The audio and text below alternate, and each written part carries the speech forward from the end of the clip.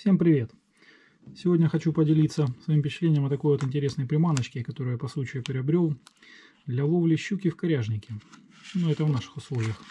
Вообще, это приманка шакал клон фрог э, рассчитана на ловлю баса. Ну, изначально она делалась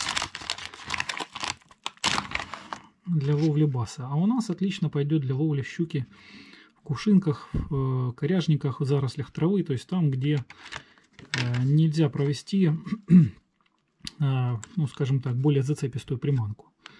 Это вот такие вот интересные лягушатки силиконовые, очень реалистичные.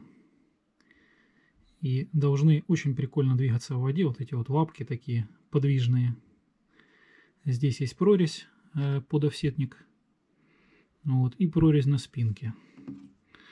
Ну, то есть вот примерно привожу крючок, чтобы было понятно. Я не скажу сейчас точно какой-то номер, ну, я думаю, вполне можно подобрать самостоятельно будет. Вот, они есть в разных цветах. Я взял э, вот такой. Так, это у нас э, Green Pumpkin э, Chartres. То есть сверху у нас цвет Green Pumpkin, а снизу Chartres. Очень такая прикольная, на мой взгляд, расцветочка.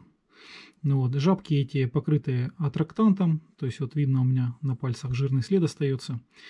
Вот, и запах такой достаточно резкий. И вот, но сама э, приманочка, ну, очень, на мой взгляд, реалистичная.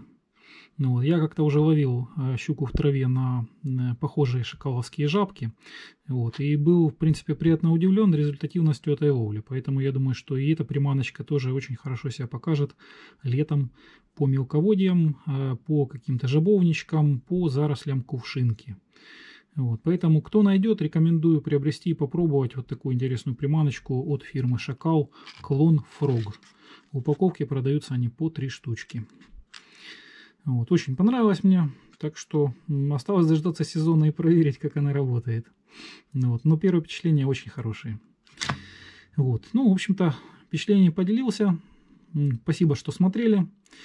Всем пока, до встречи на воде.